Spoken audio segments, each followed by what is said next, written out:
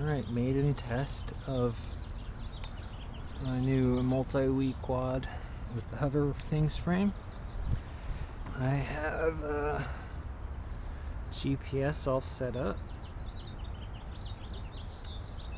It's very accurate right now, it's showing the quad right on top of me. I'm going to set that position as home.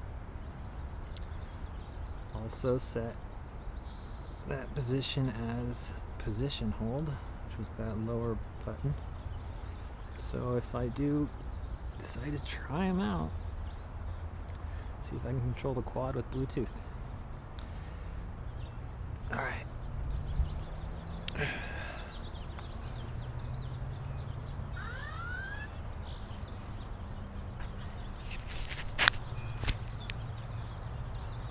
This is normal operation.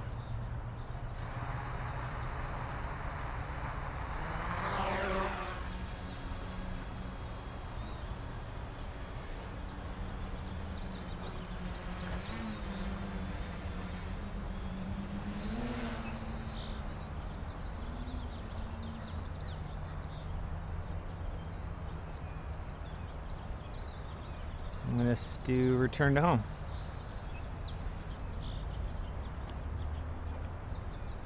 Where are you going? That's not home. Turn it off and coming back.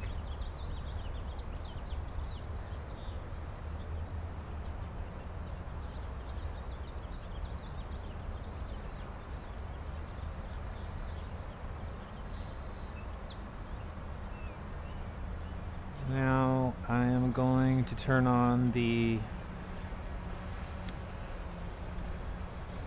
auto level and heading hold, which did not work whatsoever. Dang, these motors are strong.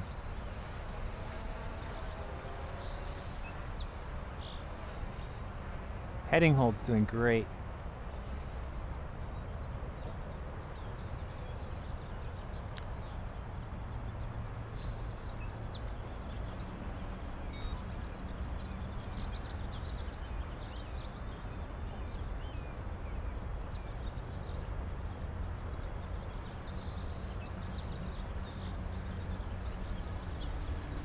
So now GPS position holds on.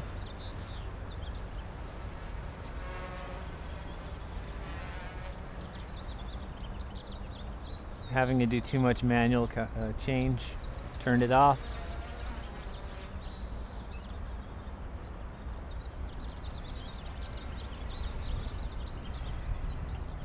Let's bring it back a little bit and I'm going to go back to the map on the phone and see where it says it is.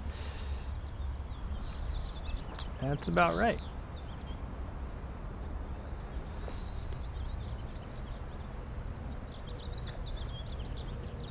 This quad is much more touchy than my other quad.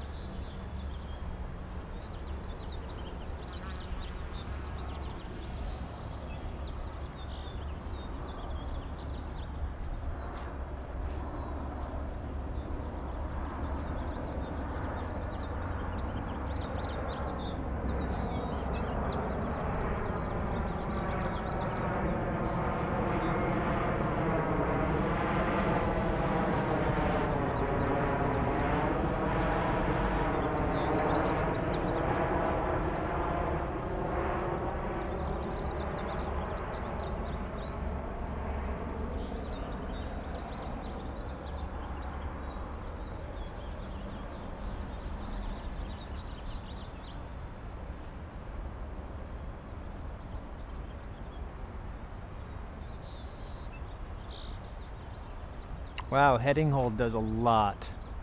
I'm not doing any of those twists.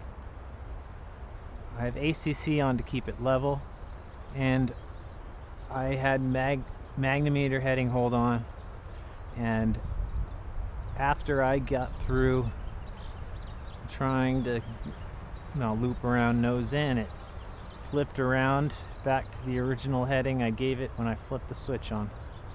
So I need to make an indivi- individual ACC switch without heading hold. A second ACC plus heading hold switch. A separate position hold switch. Maybe a separate altitude hold switch. And maybe a separate return to home switch. Unless I can figure out fail safe. Then I'll just have it where I turn off the transmitter.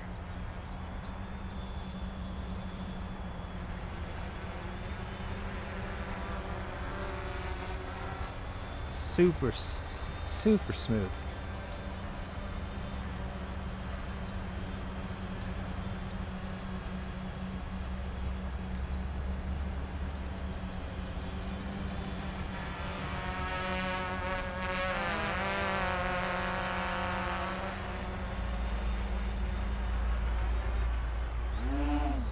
Oh my god, it jumps faster than any quad I've ever owned.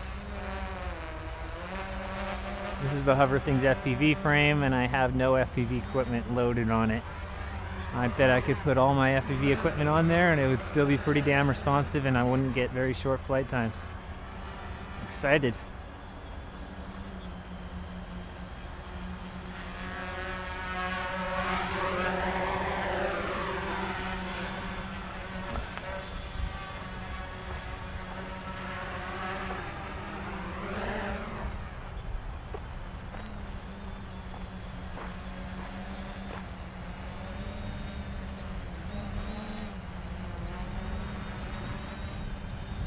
Multi-weed board is brilliant. These new sensors must. Oh, and I bet you it's also the processor on this board as well.